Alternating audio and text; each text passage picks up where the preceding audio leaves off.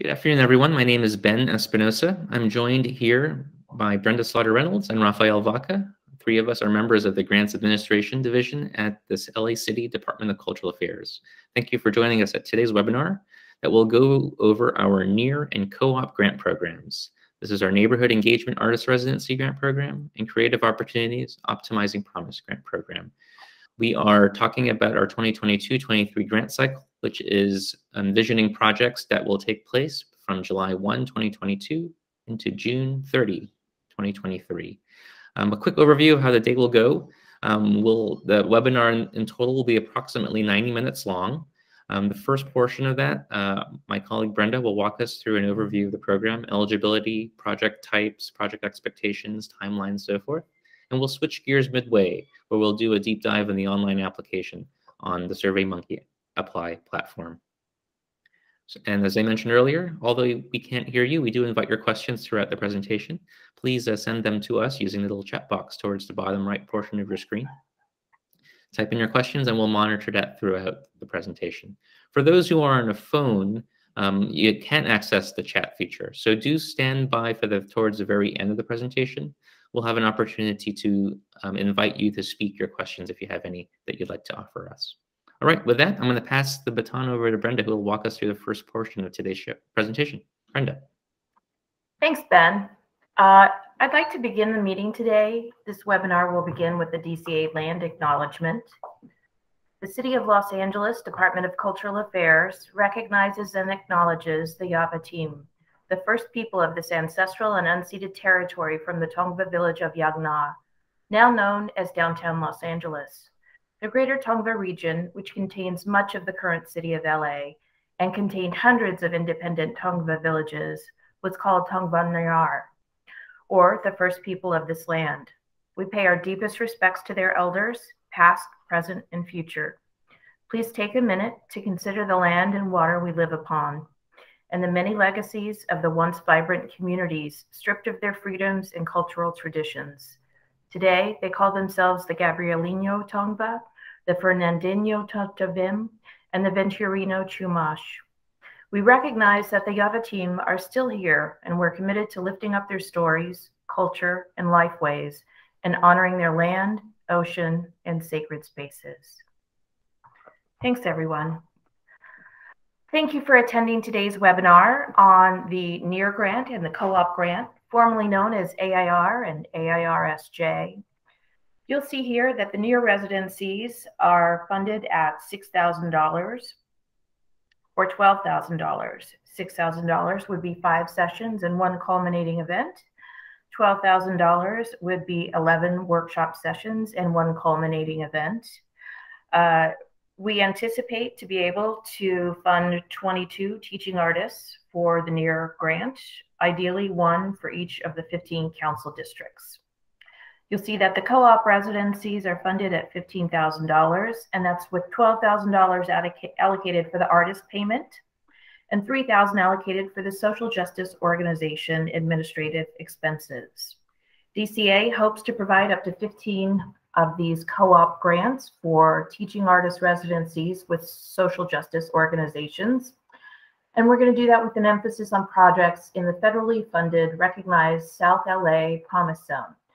And for those of you unfamiliar with that, that is City Council Districts 8, 9, 10, and 15, south of the 10 freeway and north of 228th Street. All co-op residencies will consist of 11 sessions with one culminating event. That being said, the overall number of NEAR and co-op grants we will be able to offer next year will be contingent on DCA's budget for the upcoming fiscal year. The deadline to apply for both of these programs is November 5th at midnight. I'd also like to let you know that for your NEAR grant, we are encouraging you to list the 11 workshop option in your application with the understanding you may need to scale back to five. Let's give you a little more of an overview of this program. On the right, you can see some culminating event flyers for samples that we'd like to share with you. You'll see the um, HIV write by Arts in Residence Don Tinley, and you can see the hip hop dance residency with Asia One. She did this with uh, the youth served by Chuco's Justice Center and Pico Union Housing. So as I said before, the NEAR grant program, formerly called Artist in Resident, co-op grant program, formerly Artist, I'm sorry, Artist in Resident SJ. So for the NEAR co-op, for the NEAR grant program, these are going to be local and neighborhood focused. They're meant to be local initiatives in neighborhoods where the artists work and live to provide neighborhood cohesion and authentic collaboration. And the majority of those residencies are going to take place at non-art, nonprofit agencies. Although some of the projects in non-arts for-profit can also be eligible if this partner host venue is appropriate and accessible to the general community. It's very important for DCA accessibility. For the co-op grants, this is a special partnership, and this is going to support freelance teaching artists, social activation artists, and social practice artists in providing community-based participatory projects for self-selected non-arts venues within the city of LA. Um, this creative opportunities program is going to be a collaboration of a nonprofit social justice organization and a creative teaching artist. Some of the goals of the program. DCA wants to support creative arts resources to neighborhood and host partner organizations for each council district. So we do this through the artist in residency program spread throughout the city. We want to support projects that consistently engage no less than 20 participants per workshop on some topic of thematic learning. It's, it's advisable that these participants attend each workshop and that this group will culminate the workshops by staging a final presentation or, or public presentation uh, viewed by no less than 40 individuals. So we want this open and accessible to the public to attend. Another goal is to sponsor the implementation of educational participatory residencies by the most qualified teaching artists in the city. We also strive to provide host organizations offering little or no arts programming with this opportunity to test or develop this new service and to possibly integrate arts into their programming. So, social justice organization. We have a very long definition of what a social justice organization is in regard to this grant. We have a, a broad organization, a broad definition with a wide lens, but it is certainly not all inclusive. So please do read the guidelines to ensure that your organization qualifies to apply for the co-op residency. If you have any questions at all, email us or call us. We are always happy to guide you through the application. Let's go over some eligibility requirements for this grant. Just going to point out another uh, artist in resident culminating event flyer on your right there and the artist in residence was Kristina Wong. She did a theater residency with the Dream Resource Center at the UCLA Labor Center. So for eligibility, it's a must that all residents must reside or be headquartered in the city of Los Angeles, in the county of Los Angeles, excuse me. Uh, the services must take place within the city of Los Angeles, but you may reside or be headquartered in the county. That means Pasadena, Burbank, but the the actual activities must take place within the 15 council districts of the city. And applicants for the NEAR residency should be individual artists. They can be a duo or a team under the leadership of a single artist whose community-based practices have been largely self-developed and remain primarily self-directed. Applicants for a co-op residency may be a social justice organization, or a nonprofit organization opening or continuing a fresh partnership with a social justice organization in any district of the city. And as I said before, priority is going to be given with special attention to South LA, Council Districts 8, 9, 10, and 15, south of the 10 freeway, and north of 228th Street. So for the co-op residency, the teacher may be an employee of a nonprofit arts organization and use the methodologies they've learned at their nonprofit to offer services outside of their hours to perform this independent residency. the applicants for a co-op residency grant must have an operating budget of at least $100,000 and no more than $10 million. And this will be demonstrated by the social justice organization's 990 they will submit with the application on behalf of the artists. All teaching artists should at least demonstrate two years or more of experience instructing participants in the proposed discipline within projects at non-arts venues, public schools, parks, libraries, or similar community centers. Okay, now we're going to go to what the residency funds are actually used for. And I will point out to you on your left, you'll see more culminating event uh, flyers, and on your right, another culminating event flyer. On your left, we have um, Stephen Rains. He did a poetry residency with seniors at the Los Angeles LBGTQ Center. And on the right, you have Christina Suarez, who did a dance residency with vets at the VA Greater Los Angeles Healthcare. Um, the funds are used for these community projects held in publicly accessible facilities. That's not to say we don't want you to approach venues which may not be available to the general public. We would provide special permission to do a residency at for instance, a, a domestic violence shelter, juvenile detention camp, and the like. Those merely are a phone call to us letting us know the parameters of the availability of the community to be present. Also, funds can be used for these sustainable activities, and they're going to be projects emphasizing the creative process, community participation, creative thinking, skill building, and resulting again in one low cost or free public presentation. So as you can see from the examples we shared already, there's a wide variety of arts going on in a wide variety of venues throughout the city. And that's what we are hoping for. And that's what these residency funds will be used for.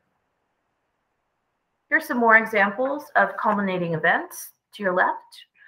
We have um, Judy Leventhal, artist in residence, with her uh, mask making residency with New Directions for Youth.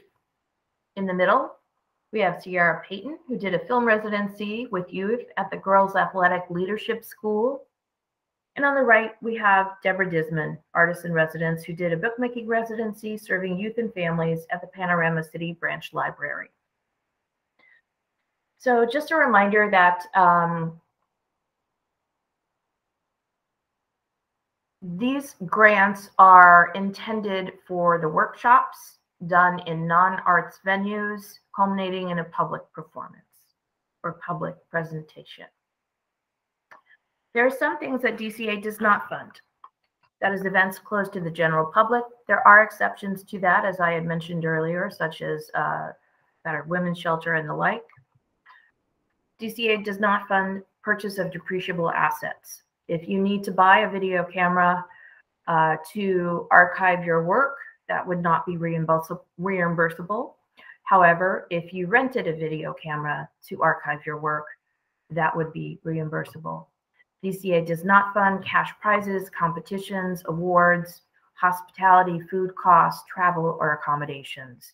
These are all risk management issues for the city, and these can be utilized with any donated or other offered funding for your project.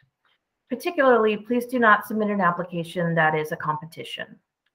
This is not a, a one winner program. This is a public program with everyone participating. DCA does not fund projects that are primarily religious in nature or intent, or projects at public schools that do not include at least 14 hours of workshops and one after school or evening assembly to which the public is invited. And just to mention, schools as a host venue allowed, however, it must be accessible to the public for the culminating performance, and the workshops should not take place during the school day. Most important for this is your host venue organization. So this is going to be a relationship and it's going to last anywhere from a few weeks to a few months host site should have shared goals with the project. They shouldn't already be providing the same classes or workshops or similar services. The host should commit to donating their time and space to this project. provide safe services in a site that's ADA compliant. As again, another priority, we, we want this open to the general public. And so if it's not accessible to participants or the public, that, that perhaps wouldn't be the best host to approach. And we also want the host to understand how to best coordinate a program that'll be attended and recruited, uh, help with recruitment uh, and members. Your host site may have a mailing list, it may have um, an understanding of, of your needs and be able to help you. Another thing a host site can help you with is insurance. DCA will require insurance for all of these projects, and that is typically a host site has been able to provide our artists and residents. As I said earlier, geographic distribution and the demographics therein are very important for the Department of Cultural Affairs. To that end, these applications are scored in a, in a variety of lenses. So our, our program really strives to serve all 15 council districts. And the co-op collaborations will have a special emphasis in city council districts 8, 9, 10, and 15, south of the 10 freeway, and north of 228th Street. We've also incentivized, mildly incentivized council districts 5, 10, 11, and 15 which for DCA have been somewhat underserved. Your application is going to be ranked for funding and it's going to be based on a panel score and the council district served. I encourage all of you to pick three council districts, your main host and your two backups.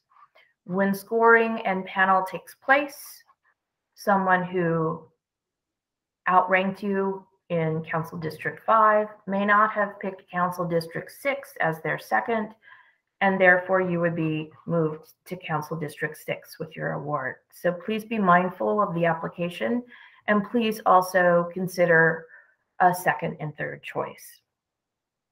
All right. Ben is going to go over the application in depth on the second half of this webinar but I just wanted to give you a little preview of what the application components are. So there is a lot to be thought about in the project narrative. You would lo- you, it would be advisable to have a good overview of your whole project start to finish prior to beginning this application. For the project narrative, the application is going to ask you many things. Demonstrate your ability to research, plan, and implement this residency, summarize your qualifications, describe the short and long-term community benefits, describe the participants and audience. Are there collaborating artists? How will you collaborate with your host organization for outreach? How will you generate an atmosphere that encourages artistic expression? How will you evaluate your project? What is the timeline of your project? To that end, you're going to have a lot of attachments to upload. Then we'll go over those specifically. Those are going to include everything from work samples to resumes. And most importantly, your budget. All right, now we're in the grant cycle. So right now we're in the first rectangle, September and October workshop assistance. After this webinar, please do feel free to reach out to us by phone or email. Email is the fastest way to reach us these days to ask us any questions along the way you have for the application. The deadline, again, Friday, November 5th after the deadline, uh, you will receive an email uh, congratulating you on your successful submission. It's also going to ask you to mail us a hard copy. The deadline for mailing us the hard copy is going to be Wednesday, November 10th. And then there's a bit of a wait while the city budget gets announced. And so we will then know how we can allocate these grant awards after the city budget is announced and that's going to be in the May June timeframe of 2022. Pardon me. Then, should you be uh, funded, contracting will begin in the May June timeframe, and your services period, as Ben stated at the beginning, will be from July 1st, 2022 to June 30, 2023. Here on our website, is where you may go to find information in detail about these programs with drop-down menus and available um, explanations for each process, uh, each, each element of the application, and additional information on each program. Questions? Please feel free to reach us. Thank you for your time, and we look forward to your application. Thanks, Brenda. Thanks, I'm not seeing any questions yet in the chat box, so um, we'll go ahead and proceed with the second half of our presentation. Um, oh, so we're getting some questions. Let's, let's pause for a moment here and see if we can address some of these. Brenda, we have a question from our prior AIR recipient and a non-art site. Uh, this person's looking to create new relationships as a teaching artist. Do the NEAR grants ever support a first-time partnership or is a co-op a better fit for starting a new project? Uh, well, I would say that depends. Um, uh, is the is the new project with with a host that you've worked with before? Uh, is the first time partnership uh, going to be a good match? Is this a host or um, or a venue in your neighborhood? If it's if it's a local program, perhaps look at the NEAR application. If you're looking to create a new partnership, social justice organization would be a fine choice. Um, I would need to know a little bit more about your specific discipline in order to guide better. So please feel free to reach out by email and I'll be happy to set up some time to talk about it with you. I'll add some general feedback. Generally speaking, um, as an eligibility requirement, it is not required to have a prior working relationship with your proposed uh, host site, although it is very much favorably viewed by the panelists. Um, um, working history with a partner is a great indicator of project success and likelihood of successful uh, project execution.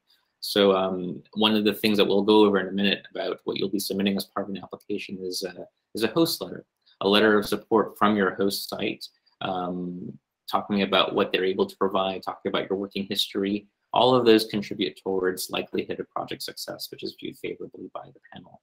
Um, but it is not an eligibility requirement. If you have a new partnership in mind, um, you've had some early exploratory conversations with that prospective partner, um, and it looks promising logistics-wise in terms of um, participant rosters that the host organization provide for you. You have a good project plan. I don't see why not. Throw your hat in the ring. Um, we would certainly welcome that proposal. Yeah. We have an additional question about whether or not a hard copy is required. We aren't asking for that. Once you submit an application electronically, you'll be prompted uh, with a, you'll receive an automatically generated email with instructions on how to mail us just the text portions of your proposal. Um, generally speaking, it's approximately 12 pages or so. No need to send us images that of your artistic samples, of your letters of recommendation. It's about the, the narrative portion of your proposal that we'd like to receive a hard copy. Um, Double-sided well. saves paper. Yeah. Um, we have an additional question here. Um, matching funds. Uh, matching funds are not required not for this required. grant program. Um, it's all we'll talk about as well as one of the things we'll submit as part of an application as a project budget. There'll be an opportunity to highlight any uh, matching contributions, um, cash resources, or in-kind time or resources going towards your project provided by either you, collaborating partners, or your host organization. It is not a requirement, although often viewed favorably by the panel. Yes. One last question here. I'll pass this one on to you, Brenda. Just to confirm, um, can folks work with an organization like a Safe House, a women's shelter? Yes, you may. Um, as as I said, you know earlier, there are some protected communities out there not accessible to the general population and public. Uh, for instance, our artists in residence at the VA Women's Center um, does not have um, access to do a public presentation. So yes, please be in touch with us and we can best guide you how to propose that service um, uh, within the guidelines. Yes, definitely. Right, we have another question here. Can an arts organization be considered a social justice organization for the purpose of this grant program? If, for example, the arts organization is committed to serving primarily students who attend Title I schools? Uh, well, there's a parenthetical there, even if that language is not in our literal mission statement. So unfortunately, the mission statement is quite important as to the direction of the organization. And if your organization is already an arts organization, um, please give us a call. Um, it, it may not fit our current social justice guidelines at the moment, but I don't want to say no until I hear more about your organization. So please email us. We'll set up a call to talk specifically about where your organization is, how old the children are, and, and more questions we may have. Generally speaking, I will say I understand the argument for an arts organization being a social justice focused organization. But when I remember another requirement of this program is that projects take place at locations where the arts are not present. So if That's you are right, thinking yeah. about being an arts organization hosting an artist in residence project, it doesn't quite fit us, fit the project um, goals. Um, however, if you if your organization has a potential partnership with a social justice organization that doesn't have involvement with the arts, um, perhaps there's a possibility the social justice organization can submit a co-op proposal with a specific teaching artist from the arts organization in mind as they craft that proposal. So that would be a way for arts organizations to be involved in these grant programs we're speaking about today. Yes. Yes. So so give us a call because arts organizations are typically not host sites. Um, but we would love to talk to you more about your ideas and Ben's suggestion of, of co-op. Uh, another question here around if a proposal is site specific, how can it be located in different venues? That's a good question. Um, you want to take that one, Brenda? Sure. I mean, I think we're thinking the same thing, Ben. So there's a geographic distribution of artists in residence. If your uh, um, project is site specific within the same council district, that's something we can entertain but we really want to understand how you're going to get everybody to show up each time at these different locations. So be very specific about that in your proposal.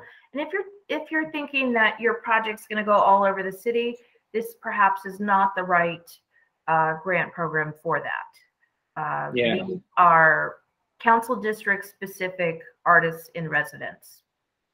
It's a, it's a slight balance. It's a balance of you know finding authentic uh, sincere partnerships where you as a teaching artist have relationship working relationships um, with uh, you know uh, worthy nonprofit organizations around the city but we also want you to have backup partnerships in mind just in case um, you are a meritoriously scoring applicant but someone has already claimed that that's that particular spot on the map so um, one way we see this play out in the past is but teaching artists, I have this really great relationship with an organization based in Panorama City. I'm going to submit my proposal framed around working with that organization, working with that population in Panorama City. They're going to be my first choice.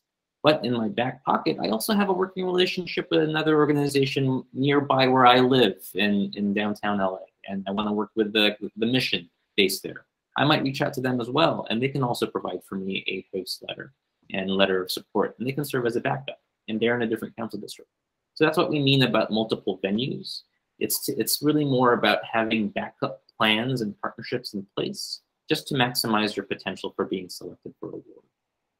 And we'll talk about how you can present that in your application. And I'll switch to that now. Keep those questions coming. Our team will continue to monitor the questions as we uh, go through the next phase. So give me a second here. I'm going to share my screen.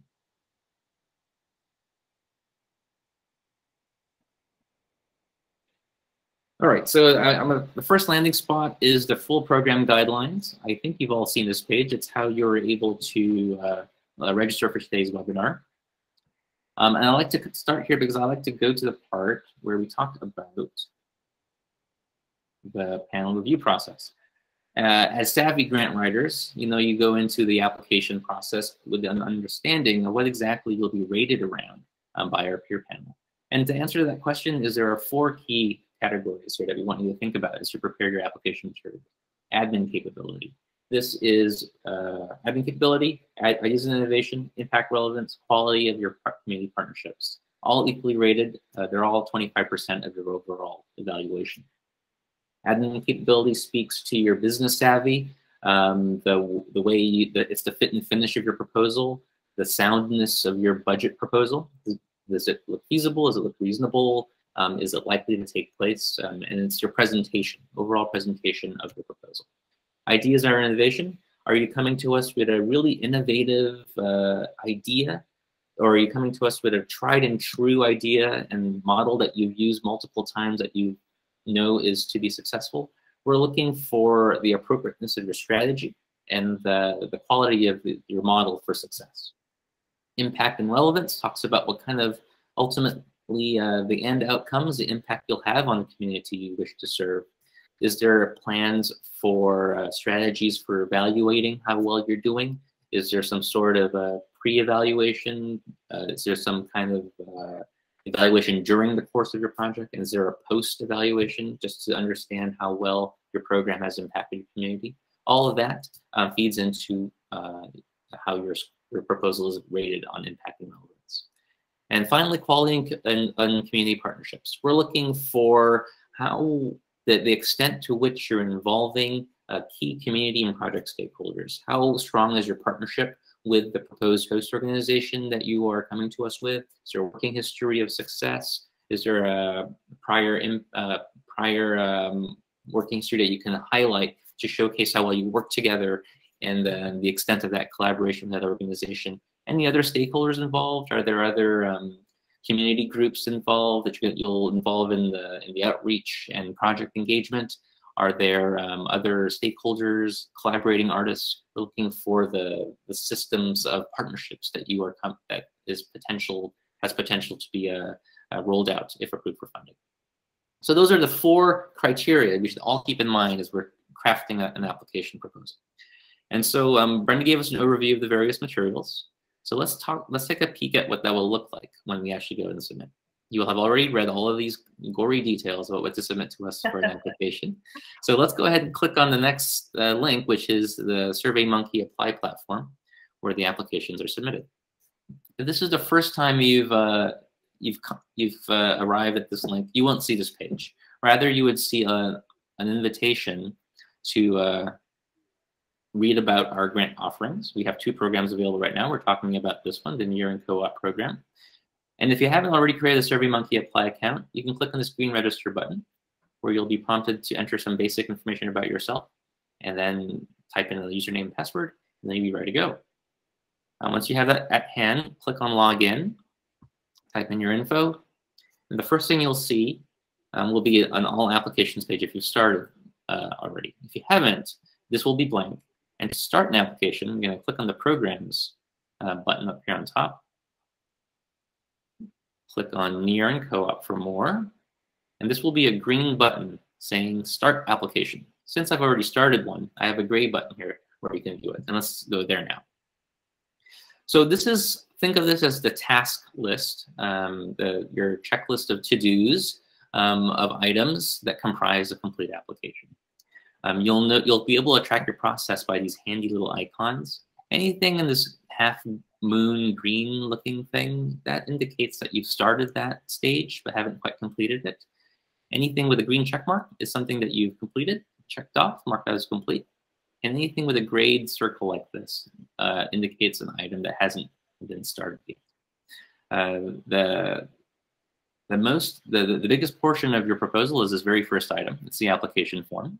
So let's click into it and see what that's all about. All right. So uh, the application form consists of three pages. Let me navigate to the first page here. You can navigate through between pages by clicking on these previous and next buttons on the bottom of the screen. So this is the very first page of the application form. Page one, um, it will be referred to as the cover page, basic information about yourself or organization. So uh, the very first question is, what type of proposal are you submitting? Are you submitting a near proposal, in which case you are a freelance teaching artist proposing a residency project with a non-arts venue somewhere in the city of LA? Or are you a co-op applicant? Two types of co-op applicants. Um, you are a representative from a social justice organization, and you have this fabulous teaching artist in mind. And I'm submitting a proposal crafted around residency with that teaching artist in mind. Or am I of am I from a nonprofit arts organization?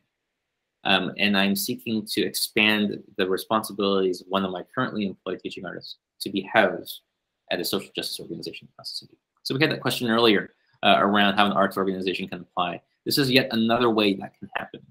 The one we, re we recommend you go about going uh, in submitting an application is asking your social justice app organization to submit an application on your behalf.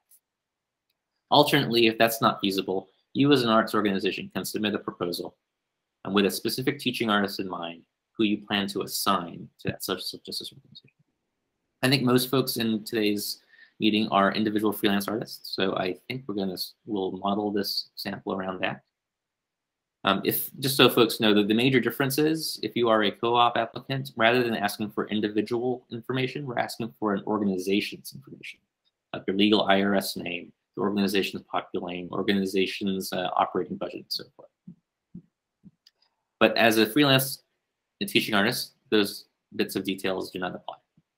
So let's go through this real quickly here. So as I'm a near freelance artist, I'm asking for my legal name. If I have a professional name, I'll enter that here um, mailing address, um, type that in. And uh, if your residential address is different from your mailing address, you have an opportunity to type that in here. What's important here is that you're entering an address that's somewhere within Los Angeles County, okay? That's an eligibility requirement. Next, we're asking for the council district in which you reside. Um, if you live within the city of Los Angeles, you're going to be located in one of 15 council districts. If you are somewhere else within LA County, um, you won't have a council district to report here. You can just simply check in the elsewhere in LA County box and type in where you live. Santa Monica, Culver City, Altadena, and so forth. If you're within the city of LA, but you don't know where your council district is, there's a link here to a neighborhood info tool. Open that up and, oops, it's not loading. It's loading. Um, you type in your address. Let's say 201 North Figueroa, which is where DCA is located click find, and you'll be in, presented with a, a, range of information about your address. What we're talk, looking for here is City Council. And you can see that DCA happens to be based in Council District 14. So that would be the box I would select here. All right, phone number, email address, uh, web address to your professional website, if that's applicable. We also ask for a BAVN ID number. This is a Business Assistance Virtual Network ID number uh, one of the various systems the City of LA uses to monitor uh, contractors and vendors. If you're a returning grantee, you probably have this already. Um, if you have it handy, please share it. If you don't have one yet, no problem, just keep it blank for now. It will be a condition of contracting, not necessarily a requirement for application. All right, all that filled up, click on the green next button. We'll get to page two, which is um, a page sorry. where you, yes, sorry. Uh, we have a, a, a quick question that applies to council districts. The question is, is it preferred that you live in the council district where the workshops and events will take place? Not a not right preference per se. Um, if that's part of your narrative and story about why you have that bond with the partnering social agency, I think it's something you should certainly illuminate and surface in your narrative. Um, one of the things that partner our panelists look for are connections, teaching artist connections. This is the quality of partnerships, right? um, and uh, it, it, goes into your ideas and innovation. Is this is this a strategic partnership? If it's if it happens to be an organization based around where you work or live, that's a that's a, a really reasonable reason why you really want to partner with that. Um, we are calling these near grants because uh, we are emphasizing that the hyper local uh, neighborhood focused nature of these partnerships and uh, teaching artists who partner with organizations where they live and work seems like a very logical type of um, connection. So it's not necessarily preferred. It can turn out to be a very good reason for why you're proposing a partnership, but it's certainly not required. Thanks, Ben. Second page of the application allows you to provide some key details about your host partnering organization. So first off, start off by giving your project a uh, cool title. Uh, this one I'm just kind of bland, but it's a creative writing residency I'm proposing. Um, you'll have something perhaps more specific, like uh, creative writing in, in South LA, or uh, you know, uh, hip hop dance workshops for the community in in in downtown LA, that kind of thing. Give it a name. We're looking for a project start and end date. This should reflect the when your workshop series will begin and when that culminating event will finally wrap up. Um, you have a 12-month window to consider here for eligibility. Um, we're looking for projects taking place between July 1, 2022, going to June 30, 2023. Um, in most cases, um, near projects, co-op projects, we expect to be no more than six, seven, eight weeks long. Allows you that time to do your series of workshops plus a culminating event. So here's a case where I'm anticipating a creative writing residency taking place in the late fall of 2022, uh, October 1 going into December 15. All right, so this is where we ask information about your, your venue so and, and partnering organization. Um, so your first choice. So this is where we're gonna we, we hope to put you in if approved for funding. Um, I let's let's say I live in downtown LA. I work very closely with a, a terrific organization near Skid Row. Um, they're based in Council District 14. Mark that there as 14. But at the same time, I also work somewhere in the in the West Valley. I have this. I I, I work at this wonderful uh, neighborhood where there's a great organization based in Canoga Park. They're in Council District 3. I'm going to mark that as well here. I don't have a third choice here, although uh, just because I feel like these are my two strongest potential partnerships. Um, if you have a third choice, you are certainly welcome to apply and click that box here for a third option. Something to consider though is one of the things you're submitting in your application are host letters. And so I'm selecting these two because I know that I can easily get a, a letter or email of support from the venues I have in mind in downtown LA and Canoga Park. Okay. Um, and this is the name of my first choice, ABC Youth and Family Services. Type that in. Um, and here's another question that asks around um, what kind of, to the extent your conversations have been going on with your prospective partner. Um, one of the things that we require of all DCA grantees is that you be insured uh, during the period where you're engaging with the public. And so one of the strategic uh, elements, uh, uh, strategic partnerships uh, among our near residencies is that oftentimes the host venue is able to include the selected teaching artist and as part of the organization's uh, general liability policy. They'll add you as an additional insured for the duration of your workshop there serving their clients. And so that's a great topic to bring up in your ex early exploratory conversations as you talk about the extent of your partnership.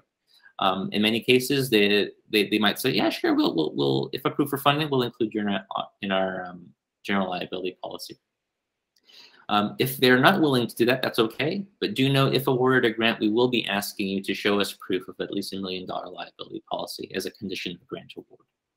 So yes or no, just um, that we add that question because we want to remind folks it's a great thing to bring up in early conversations with prospective host partnerships. Um, I'm typing in the address of my my proposed venue in Council District 14. Type that there. I repeat the approximate date of my culminating event, where I invite the general public to come and see the wonderful work my workshop participants have engaged in for the past several weeks. And so these last three questions ask for some basic anticipated project metrics. Um, tell us about the number of artists that will be served by your project. This number will at least be one because it'll be you. We want you to make sure that you're going to be part of this project and that you'll be paying yourself for your time in it. Um, talk about any collaborating artists. So if you have in mind, for example, two guest artists to come in throughout the course of your residency, include them. Um, so that's three artists in my example. Participants are your, the people that you'll be enrolling in your workshop series. Um, remind, remember that we have a minimum expectation of all of our granted projects in this category to have at least around 20 consistently attending every week.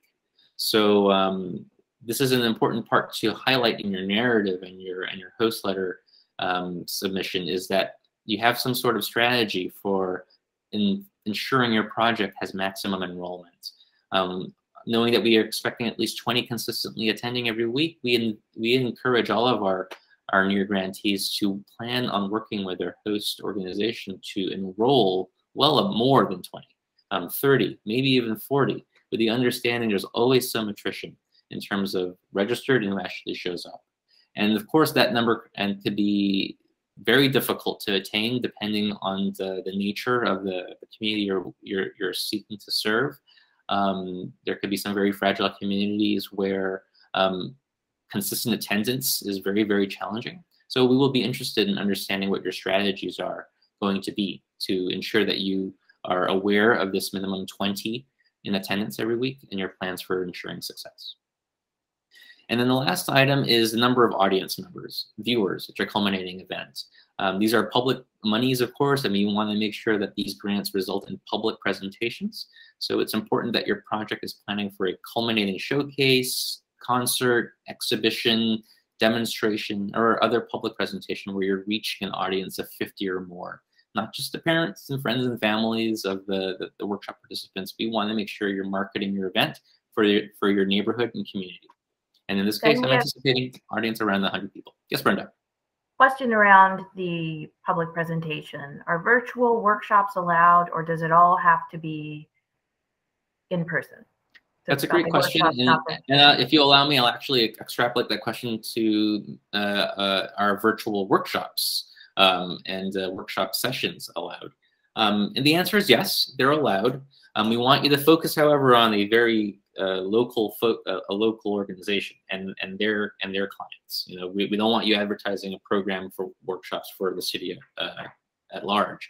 We want you to focus on workshops uh, for the clients served by your host organization and the community of that where that uh, location is based. Um, and virtual workshops and presentations are allowable in the in the world that we're in here. Um, that being said, we are asking you to forecast activities several months into the future. Um, the, the, activities can start no sooner than July 1, 2022, going all the way into 2023, the following year. So we encourage you to envision a world where we can all gather safely in person, um, in the flesh.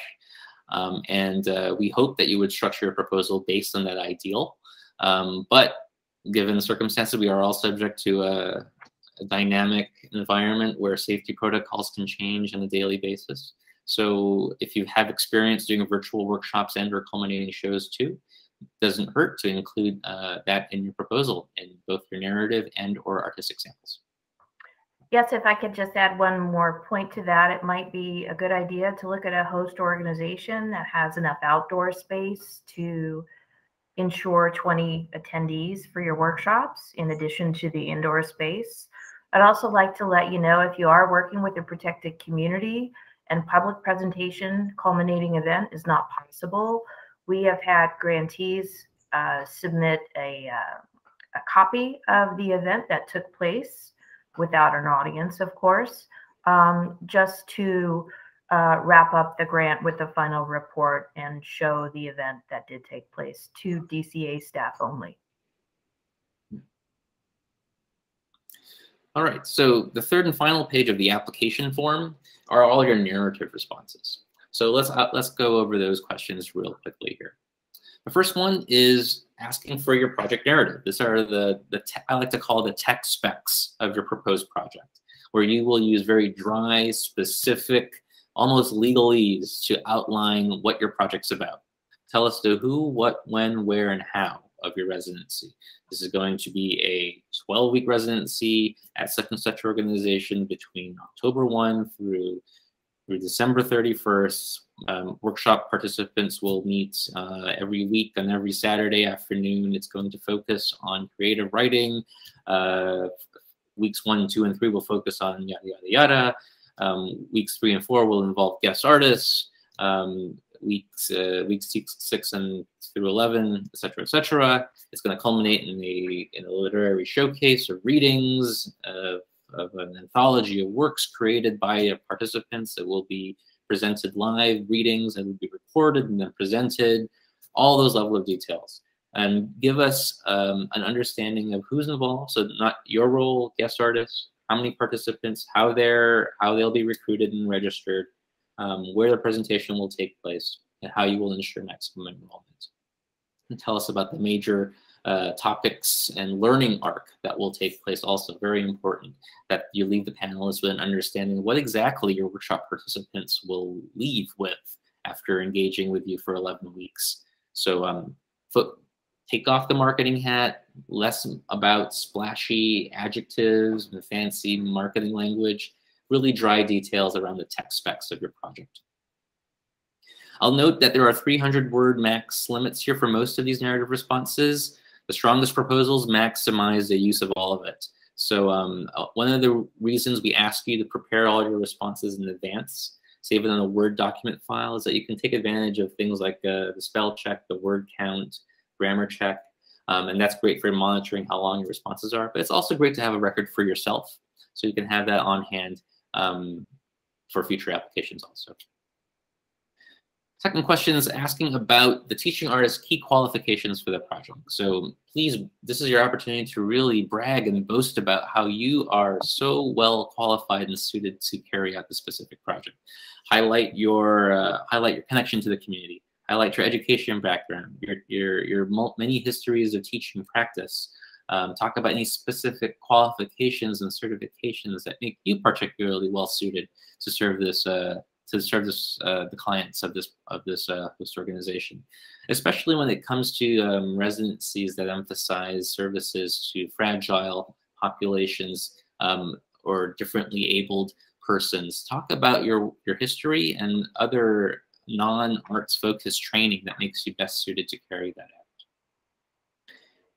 Next question talks about long and short-term community benefits that will result from your residency to draw a picture of what the what their community can expect to get out of this residency. We want a story of I start your project as a participant at a point A.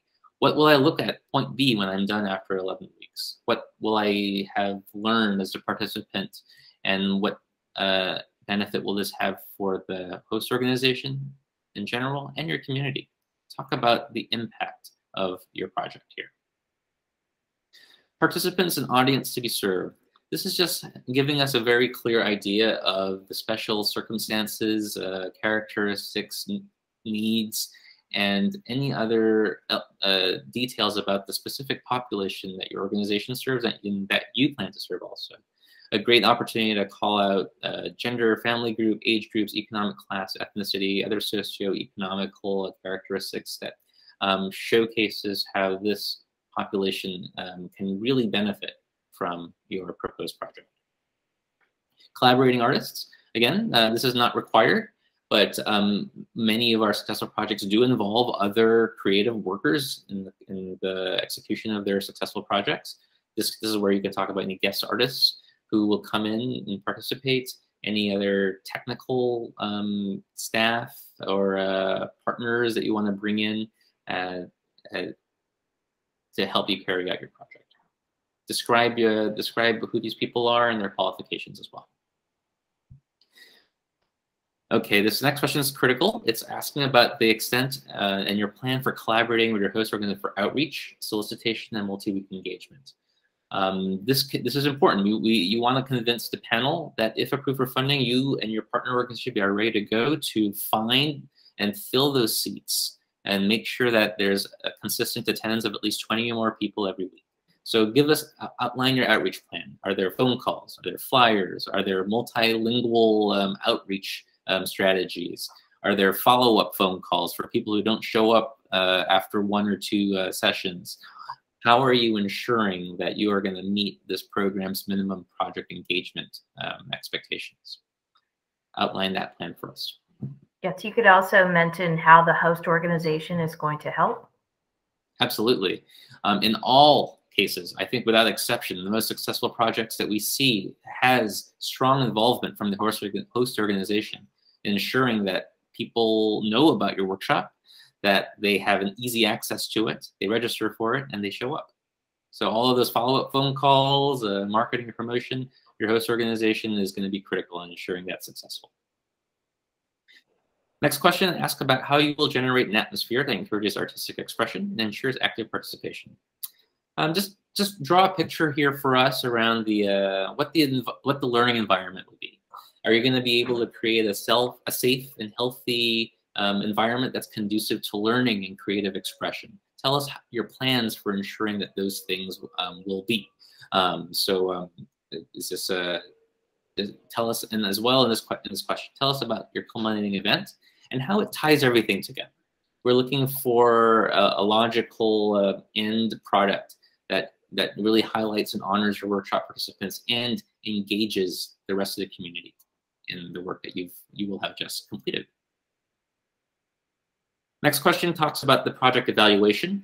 Um, this really this will be the your really your biggest chance to maximize that 25 uh, on project impact and evaluation uh, criterion. Tell us about your um, your evaluation plan. Is there a pre pre workshop survey? Is there means for a monitoring project execution during the project to ensure it's successful and to allow for any course corrections midway through? Um, is there some sort of post uh, workshop survey questionnaire that you'll that you'll plan to send out uh, to assess uh, what kind of growth your participants experience and to ensure your project was successful? Tell us your plans for this. And then the last question here is your project timeline. Um, we want to understand the, the timing of uh, your, your entire project. When is your um, planning meetings going to take place with your host organization? When is outreach going to take place? Uh, when will workshop number one start? Um, and when will the subsequent uh, sessions take place? When will the culminating event take place? Um, any other elements there? Walk us through here. This goes hand in hand with your the tech specs question. Um, leave your leave our panelists with a clear understanding of the overall arc of your project. And finally, we have a certification line here. Ask you to sign off that you are providing us um, accurate um, information at the time of your submission. After you sign that, you can mark this as complete and you'll get a very satisfying green check mark on your task list when you go back to look at your application. And there it is. All right, any questions on the narrative and application form before we move over to the attachments? Uh, we have a question. Uh, if you have two different classes you could teach, you teach, could you submit two separate applications to see which DCA prefers? That's a good question. Um, and the answer is it's likely to be limited to one. So the, the restriction is this. Every eligible individual is allowed to apply and submit one proposal for our Near grant program. Um, so with that in mind, if you have two ideas, um, I would recommend you focus the proposal on the single uh, residency, uh, unless you know both classes can be merged to deliver an 11 week experience where you would include both elements. Um, the most the most focused proposals are the ones that really shine. So I would recommend picking one if it's if if one fulfills the 11 week culminating event um, project uh, structure. Um, if one workshop is only uh, five weeks long, perhaps there's an opportunity here for you to merge both.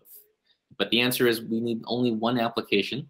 We allow only one application. So you decide to how you want to frame that one proposal. If it's one class or is it multiple classes? But I, I think then would it be possible for a social justice organization to also propose the same artist? That's a good question. That's a good question. I don't have the answer to that, Brenda. So uh, if you'd like to give us a call and let us know about those two different classes, we could perhaps give you some more uh, instruction on application. And uh, I'd just like to, to pipe in that uh, in, in a 12 week workshop cycle, you're not creating a professional artist or a professional dancer.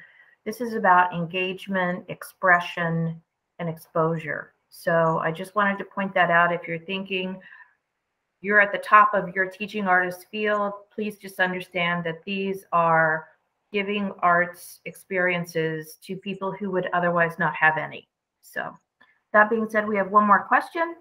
Just confirming that we need to have confirmations from each host location listed in our application. It's a good question. Um, confirmation sounds like a heavy word. Um, we want we want an understanding that you have had conversations at least at the very least conversations with each of your host organizations and some some entry level sketching of what a potential partnership can look like. And we need that because one of the things that you'll be submitting which we're about to talk about now attachment it's a perfect segue into this attachment a um, our um, attachment uh, is when you when you when you share with us a letter from that host organization um, talking about what the what they're willing to put toward a uh, prospective partnership if funded. Um, they don't need to sign on the dotted line guaranteeing you everything that they're saying in their host letter. Um, but we want to understand that they you've had at least some some introductory conversations about prospective partnership, and that if, if approved for funding, there's likelihood of of that following through. Okay. And, and I misspoke. Uh, that's host letters come in attachment B. Attachment A is more of a summary of your uh, project location history and proposed um, locations. It kind of fits in. So attachment A is this, and this is kind of new for those who are returning grantees. Um, in the past, we've asked for host venue forms and host and host letters only. Um, one of the things that come up in panel is inconsistent understanding across all applications. Oh, how long has this org has this artist worked with this uh, particular organization? Oh, did have they worked in the past before? Some applicants weren't consistent in providing that information. So we've uh, we've we've created this very simple attachment. We want you to create a, a, a one-page document on your own and just show us and list for us. Here's an example of your first choice location. As you remember, this was ABC Youth Family Services. Give us your address, their address, their con your contact person there, and importantly, the number of years you've worked with that organization. So here's a case where I I worked with this organization for three years. That's very valuable information, and that we and that way you can make that very clear with this attachment. Here's my second choice, XYZ Community Health Center. I've worked uh, with them five years, so even longer in Council District 3. Very simple list. You can prepare this on your own. This is way we're going to cross-check this list of project locations with those bubbles you checked off in that first page of the second page of the application. Um, we want to understand your working history with those council districts. Once you've uploaded this document, there'll be a green button here to mark as complete, and then you'll get that very satisfying green check mark. Um, so attachment B is what I was referencing when you asked that question, when we received that question around a confirmation from your host locations. So the answer is yes. There's some sort of soft confirmation of, uh, of possible partnership because they're giving to you an email, uh, a, a, letter on their letterhead outlining a couple of key things. And here they are. We want to see a letter that shows us their name and mission, uh, their current client demographics, that showcases and articulates their readiness to partner with you if you are approved for funding. Um, we want to have a sense of the what's available currently at that organization in terms of arts programming, if any at all. Um, how your proposed project is going to differ from that and add value. Um, we want to understand uh, the project impact, of course. Uh, a match of donated materials, space, underwritten insurance, any other in-kind support and resources that they're willing to commit towards a project. Um, hallmarks of successful projects we've had in the past, there's an abundance of in-kind contributions at the very least. If it's staff time, maybe they've assigned a key person in their programming staff to work primarily with you to make sure that your registration is uh, at maximum capacity. They're going to help you with marketing to their clients. Um, they're going to provide you the space that's safe and accessible uh, during the times you need it to ensure a successful project. We want an understanding of what they're willing to um, contribute towards this project if approved for funding. The one item here that I'll call out would be unique for our co-op applicants is this is an opportunity for you to, uh, as, as a nonprofit arts, social justice organization, include a letter of your 501c3 nonprofit status from the IRS at the end of this document.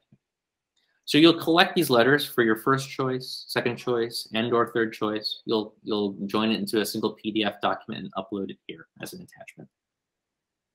Any questions around the host letters? We're looking for at least two, two pages, no more, no more than two pages for each host letter, so you can keep them brief. Um, one additional note I'll make actually, in some instances, especially for our co-op applicants, we may find the case where you're a social justice organization, but you don't necessarily have space for workshops because you're out in the field serving your clients in your neighborhood. I mean, so what we found in the past is oftentimes a third location is needed for where the workshops will take place. Merely a venue for workshop facilitation and for possibly for culminating event. That's okay.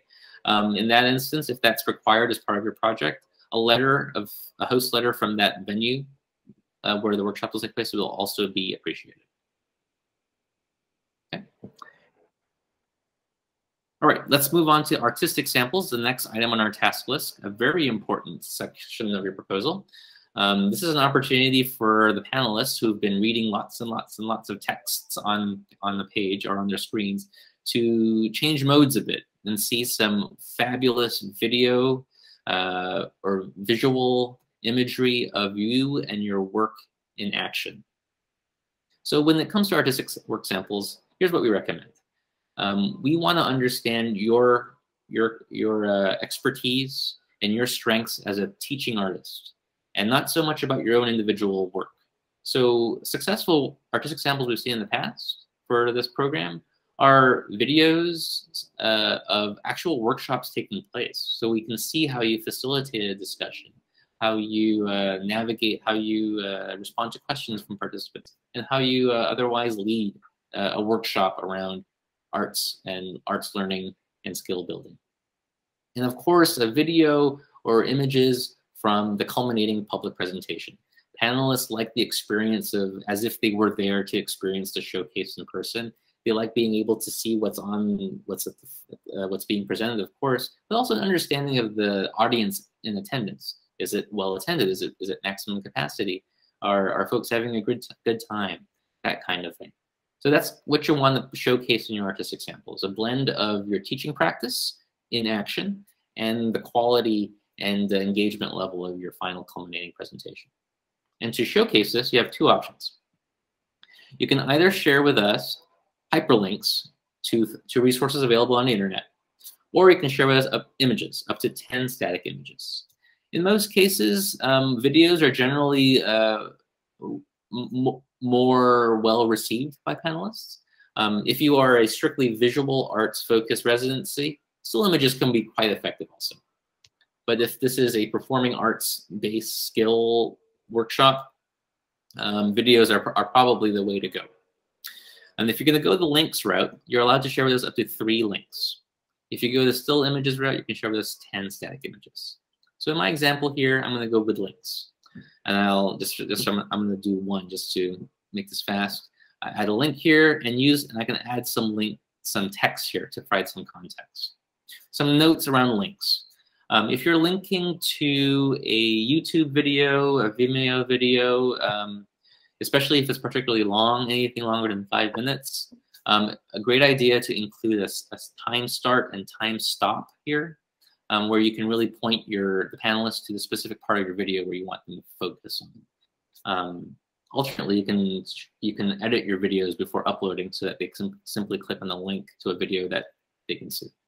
Um, if you can avoid it, avoid the password protected links um, and uh, just, just make it an easier experience for the panelists. If you do use a password, definitely make sure you include the password information in this um, text box.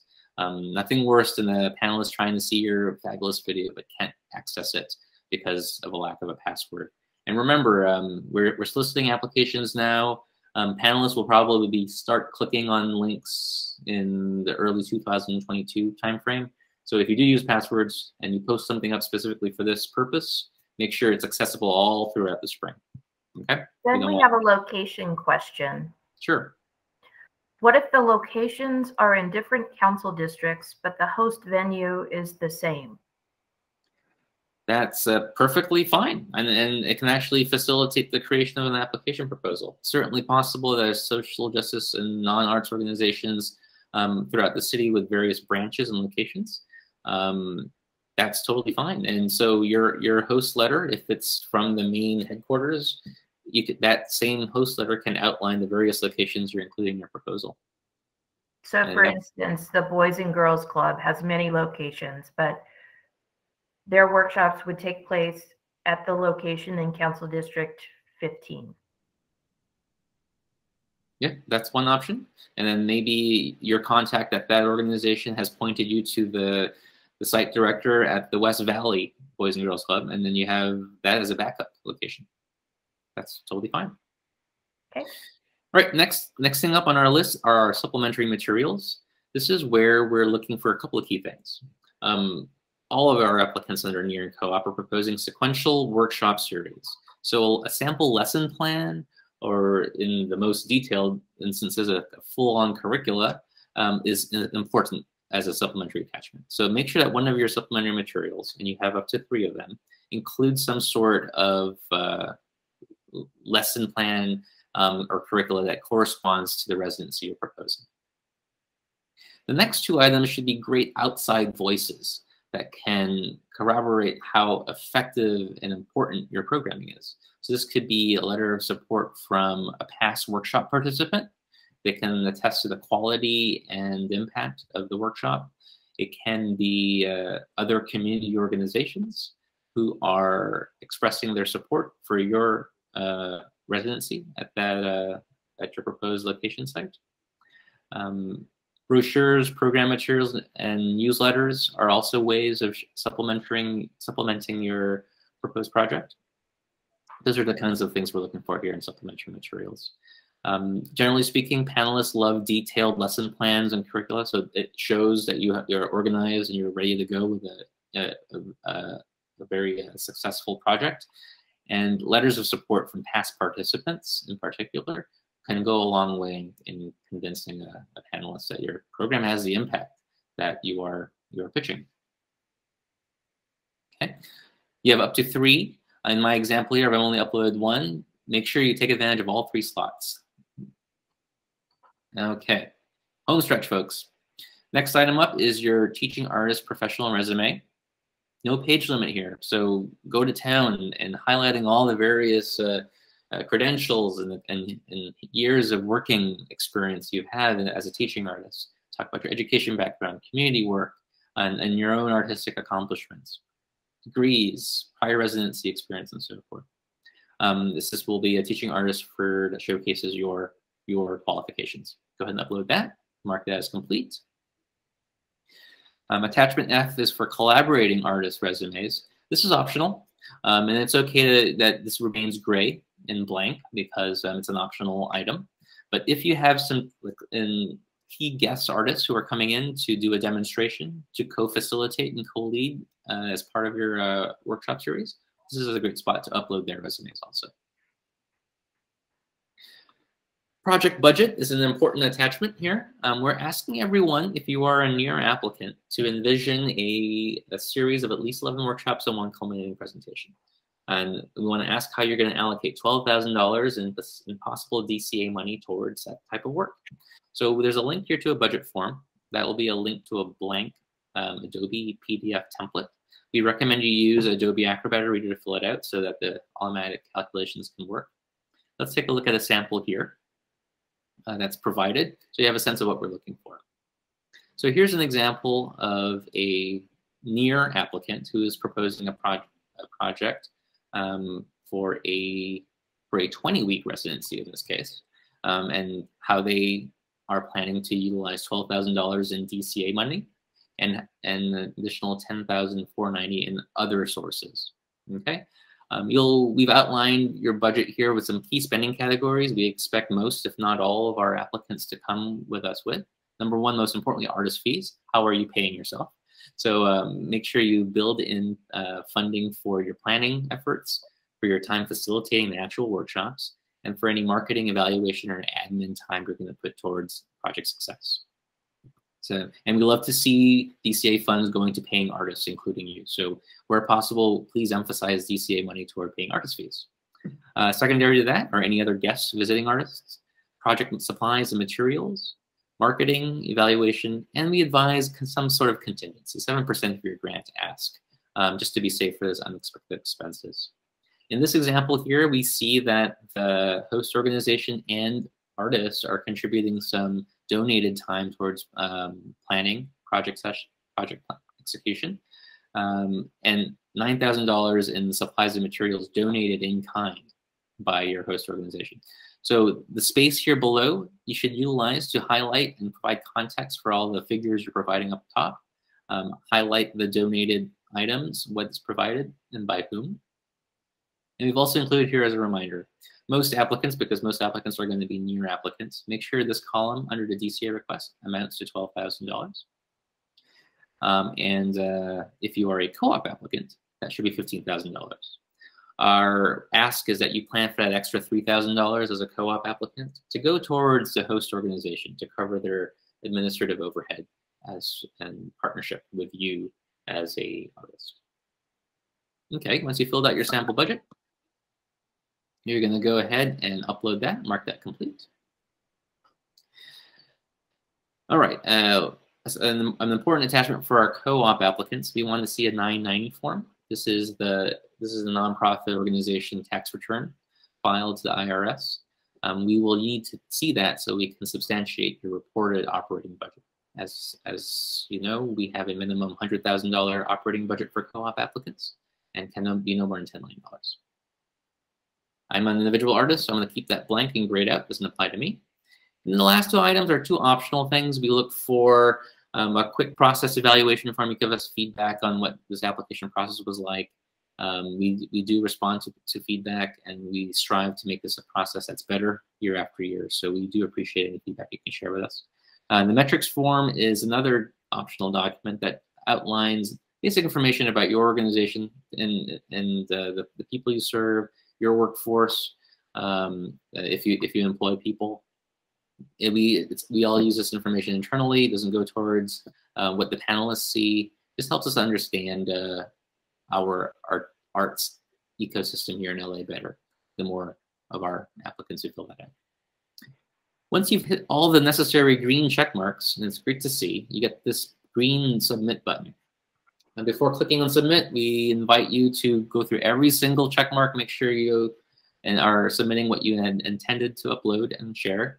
Um, once you submit this to us, you can't get it back. So um, I'm glad you're attending this workshop now because you're well ahead of the timeline and deadline. You'll have lots of op opportunity to prepare really compelling materials and to review your work, recheck and double check again again. Um, but when you're ready to go, you click on submit and that will complete your electronic submission. What this will do is now um, mark your electronic submission complete. You'll get an automatically generated email in your inbox saying, hey, submit your electronic application. One last step, please print out a hard copy of just the text components of your proposal and mail that to us at DCA.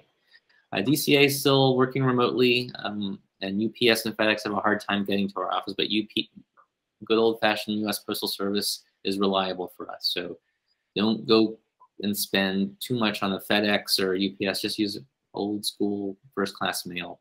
Um, we're looking for a postmark deadline about just a few business days after you submit your electronic application. So just to recap, it's a November 5 online application deadline. And we want a postmark a deadline for your hard copy mailing uh, the following Wednesday, which is, oh my goodness, what is that?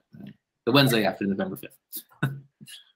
Uh, just a reminder, please don't drop off your hard copy. No one will be in the office to accept it. Right. So that concludes the, the online application portion of our, our webinar. Is a good, this is a good time to pause for questions if you have them. We have a comment. It's been very helpful. Thank you for your time. Thank you. Helpful. Terrific. All right. Um, if you don't have questions now, do you know we have uh, Brenda, Raphael, and myself available to you, um, primarily by email. The easiest way to get hold of us, dca.grants at lacity.org. Um, we'll be posting a recording of this on the workshops page on those guidelines. So um, if you want to recap anything that we went over today, you can. It'll be available there for viewing later, um, hopefully by end of day today. Um, but with no more questions, I want to take a moment and say thank you to all to everyone for making the time to meet with us today. This has been a pleasure, and I